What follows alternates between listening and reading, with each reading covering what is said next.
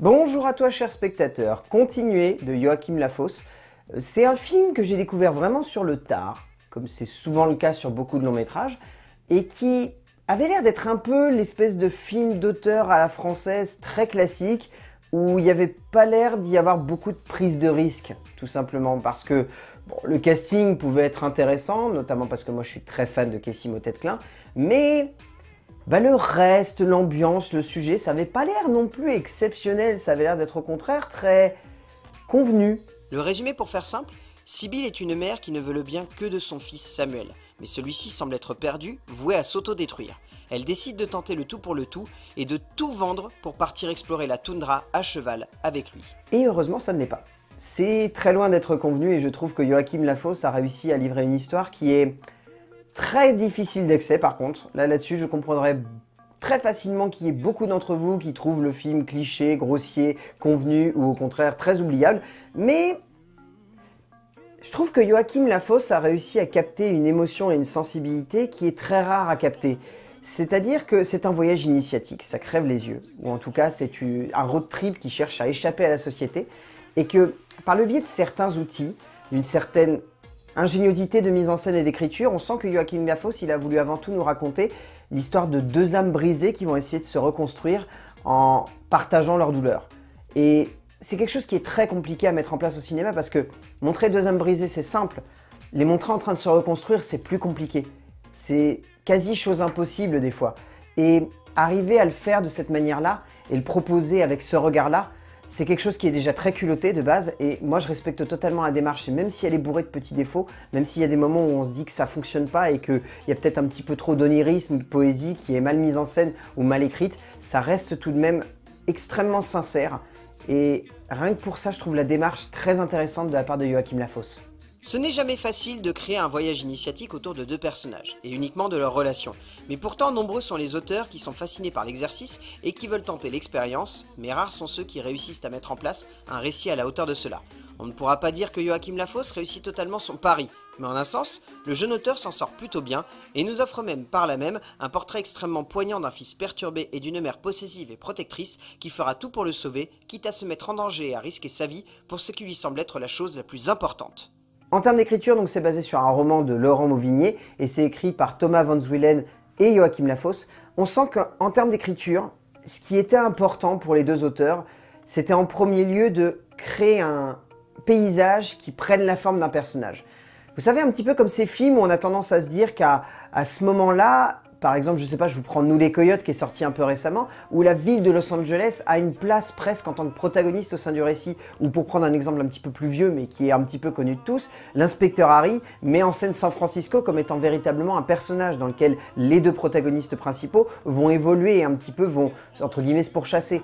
Et là, j'ai vraiment la sensation que c'est une toundra, ça devient un personnage dans l'écriture des deux auteurs. Ça devient vraiment quelque chose qui va les briser, les amener dans des retranchements, les inciter à se remettre en question. Et, du coup, je trouve que l'écriture gagne vraiment vivacité d'esprit et en intensité en utilisant ces éléments-là. Parce que le reste du temps, et c'est un petit peu le gros souci, c'est que le long métrage a tendance à un peu trop se baser sur la mise en scène. Et autant des fois ça peut être très bien, ça peut donner de très belles choses, autant des fois si on fait complètement ça, ça peut vraiment faire en sorte de créer une distance entre le spectateur et ce qui se passe à l'écran. Et là, en l'occurrence, je trouve que le scénario, du coup, se repose trop sur des effets de style de mise en scène et que du coup, on sent que dans le roman, ça devait être beaucoup plus clair et que dans l'écriture du scénario fait par Lafosse et Van Zwilen, c'est moins logique et c'est surtout moins impactant sur le spectateur. Lafosse et Van Zwilen cherchent à explorer la base d'une profondeur dramatique qui se baserait uniquement sur la relation entre deux personnages, et rien de plus. Et le pari est louable, mais ne tient pas forcément la route sur l'ensemble du scénario, et c'est cela qui fait que le tout ne fonctionne pas forcément parfaitement.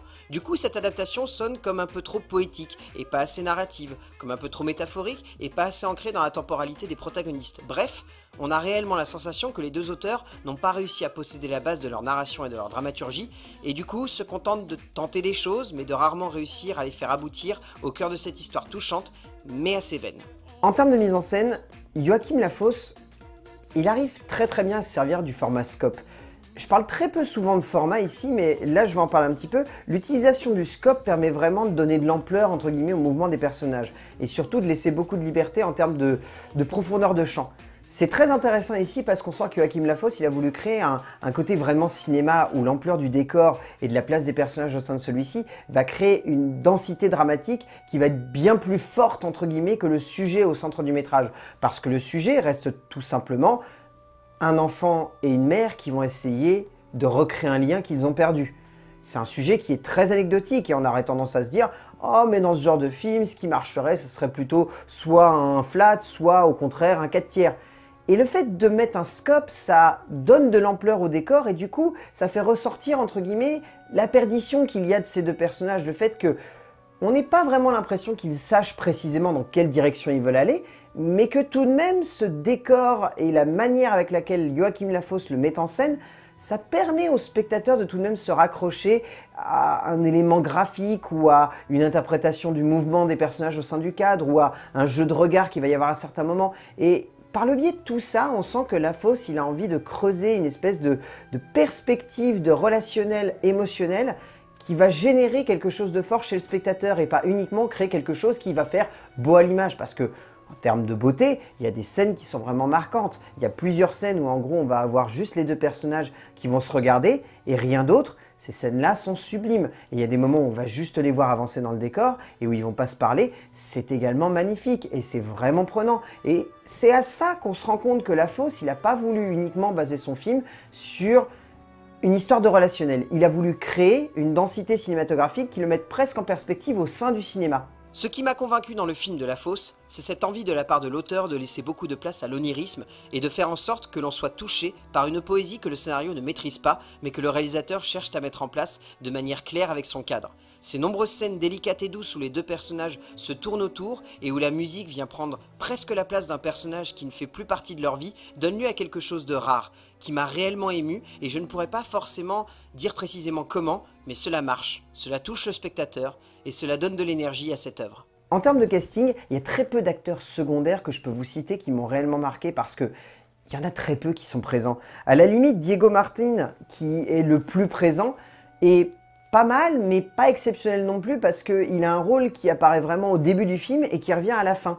Et c'est très anecdotique. Et c'est comme ça pour la plupart des acteurs qui restent tout de même excellents, mais qui sont montrés de manière très très secondaire, voire presque tertiaire, parce que on sent que Joachim Lafosse voulait surtout mettre en avant deux acteurs principaux qui sont vraiment hallucinants, Casey Motet-Klein que j'adore, et Virginie Efira qui je trouve a une carrière de mieux en mieux au fil que ça évolue. On sent qu'Efira donne vraiment tout ce qu'elle a pour ce personnage, qu'elle ne se contente pas de jouer la mère, elle est cette mère. Et que Motette Klein cherche quant à lui à creuser le plus possible une forme de tendresse perverse qui fasse que l'on s'attache à lui malgré son caractère les deux acteurs sont tout bonnement stupéfiants. Au bout du compte, Continuer est un film qui est très surprenant par rapport à ce que j'imaginais. Honnêtement, j'imaginais vraiment le film d'auteur un peu pompeux et très larmoyant. J'ai trouvé que c'était beaucoup plus poétique et onirique que ça ne voulait l'être et que du coup, ça avait quelque chose de forcément impactant.